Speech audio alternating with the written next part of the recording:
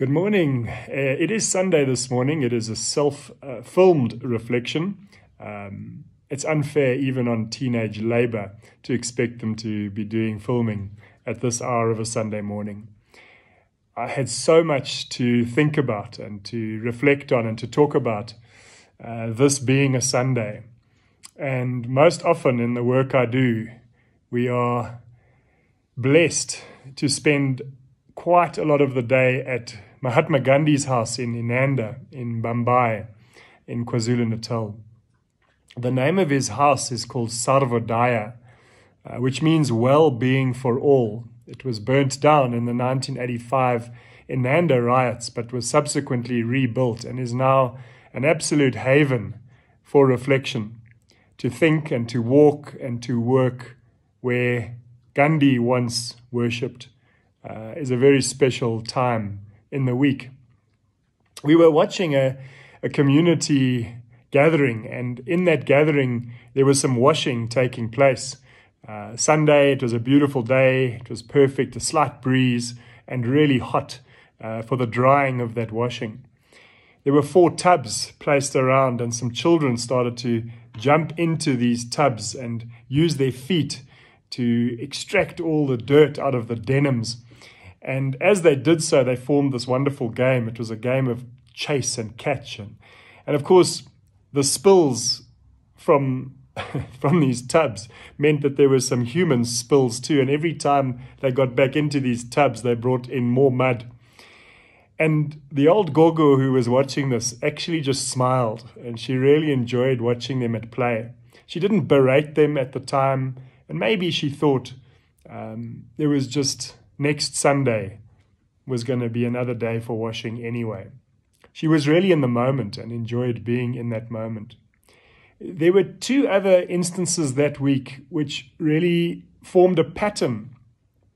And maybe the pattern was about influence.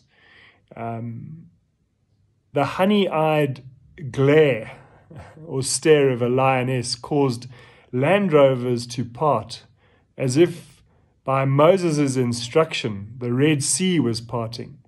And this stare caused that kind of action without a single word.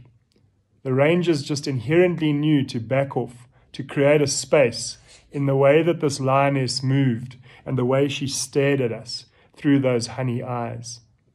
And then later, in one of the lectures, uh, a gecko uh, just dropped down from the ceiling and landed on the, the desk in front of us it caused quite a stir. It was an uns, uh, it was a surprising act, and furniture was knocked over. Coffee stains emerged. People panicked. Uh, there was this new intruder that had just quietly dropped in uh, on one of our lectures in the in the Lapa. We always thought, what what was the conversation like back in the in the gecko's home? You know, Dad, how did you do that? How did you cause panic? How did you move furniture? How did you spill coffee stains? And nobody slept during Mick's lecture. How did you manage all of that? And perhaps the gecko's response might have been, well, I just dropped in on a conversation and I was just being myself. And so, this idea of authentic influence may be through how grandchildren influence their grandparents it may be just through the honey eyed stare of a lioness. And it may just be from a gecko that drops in on a conversation.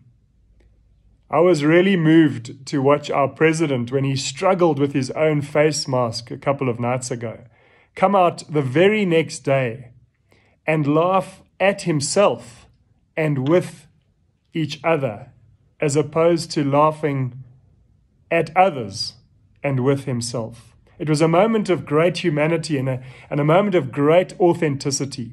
And I, for one, felt deeply influenced by that. And so today, perhaps being Sunday, I wish you Sarvodaya, well being for all. And tomorrow is a very special day, being Freedom Day. And I hope to be able to talk about a very special person who has influenced us all. Have a wonderful Sunday and well being for all.